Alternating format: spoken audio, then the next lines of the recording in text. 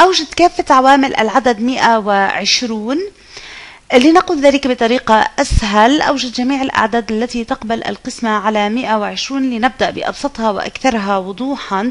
نحن نعلم بأن جميع الأعداد تقبل القسمة على واحد. إذا يمكن كتابة 120 يساوي واحد ضرب 120 لذا دعونا نضع هنا قائمة العوامل ونضع كافة العوامل آه، أسفلها.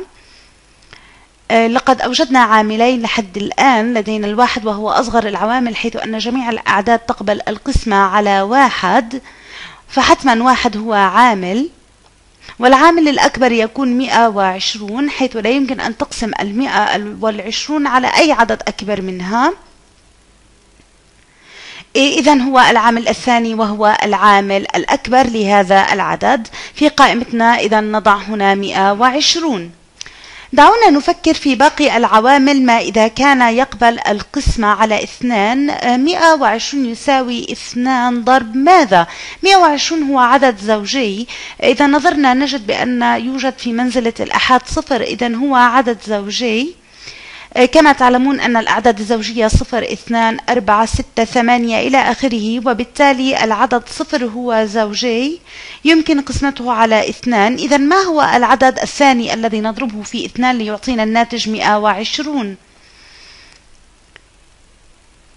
حسنا آه، هنا ماذا نريد أن نضرب باثنان؟ لو فكرنا بطريقة أخرى آه، اثنان ضرب ستون يساوي 120 إذا نقول بأن 120 آه، تقسيم اثنان هو أولا 12 تقسيم اثنان 6 6 ضرب اثنان يساوي 12 ونطرح يبقى الباقي صفر ونرفع الصفر هنا ليكون الناتج 60 إذا نقول هنا بأن عندما قمنا باستخراج العوامل كان أصغرها آه، العدد اثنان والآخر هنا ستون. إذا لدينا أيضا ستون. دعونا الآن نفكر بالعدد ثلاثة. 120 يساوي ثلاثة ضرب ماذا؟ آه، حسنا حسب قاعدة قابلية القسمة على ثلاثة وأمل أنكم تعرفون إذا جمعنا آه، أرقام العدد وكان مجموعهما آه، يقبل القسمة على ثلاثة إذا العدد نفسه يقبل القسمة على ثلاثة. لنجرب هنا. نقول بأن واحد زائد اثنان زائد الصفر يساوي واحد زائد اثنان يساوي ثلاثة زائد صفر يساوي ثلاثة. إذا آه، ثلاثة تقبل القسمة على ثلاثة. إذا لابد أن 120 يقبل القسمة على ثلاثة. لمعرفة العدد الذي يجب أن نضربه بثلاثة يجب أن نفعل ذلك تلقائيا في آه، في آه، رأسنا. لدينا هنا 12 تقبل القسمة على ثلاثة ولكن لنقوم بالقسمة الطويلة هنا 120 تقسيم ثلاثة لدينا 12 تقسيم ثلاثة أربعة ضرب ثلاثة يساوي 12 نطرح وننزل الصفر هنا ثم نرفعه لتصبح 40 ونضرب لينتج صفرا إذا الباقي الصفر. إذا نقول 40 إذا الطريقة نفسها إذا فكرنا بأن 12 تقسيم 3 يساوي 4 ونضع الصفر إلى جانبه ليصبح 40 إذا هنا لدينا 120 يساوي 3 ضرب 40 إذا لدينا عاملين جديدان وهما الثلاثة وأربعون دعونا نرى 120 هل يقبل قسمة على أربعة؟ بحسب مبدأ قابلية القسمة على العدد أربعة فإنك تتجاهل كل عدد في منزلة آه، آه، المئات وننظر إلى الرقمين في منزلتي الآحاد والعشرة. ألا وهما آه، عشرون. آه، إذا بالتأكيد عشرون يقبل القسمة على أربعة وبالتالي مئة وعشرون تقبل القسمة على أربعة. إذا الأربعة عامل. إذا أردنا أن نعرف ما هو العدد الذي يجب أن نضربه بأربعة يمكن أن نفعل ذلك في رأسنا. نقول بأن 12 آه، تقسيم أربعة يساوي ثلاثة ويبقى الصفر. إذا ثلاثون. إذا حصلنا على عاملان 34 آه، يمكن أن نتأكد من آه، فاعلية هذا ونستمر بالعدد 5 120 يساوي 5 ضرب ماذا؟ آه، إذا هل تقبل القسمة على خمسة. نحن نعلم حسب قاعدة قابلية القسمة على خمسة بأن كل الأعداد التي أحدها صفرا أو خمسة تقبل القسمة على خمسة ومئة وعشرون. هنا أحده صفرا إذا يقبل القسمة على خمسة. هنا نقسم قسمة طويلة مئة وعشرون تقسيم خمسة اثنى عشر تقسيم خمسة. هنا اثنان ضرب خمسة يساوي عشرة. نطرح ليبقى اثنان وننزل الصفر. هنا عشرون تقسيم خمسة يساوي أربعة أربعة ضرب خمسة يساوي عشرون. نطرح ليبقى آه، صفر. إذا آه، نقول بأن آه، كما توقعنا ال 120 تقبل القسمة على خمسة. إذا 120 يساوي خمسة. دعوني أمسح هنا أولا. ضرب أربعا وعشرون. إذا لدينا العاملين خمسة وأربع وعشرون.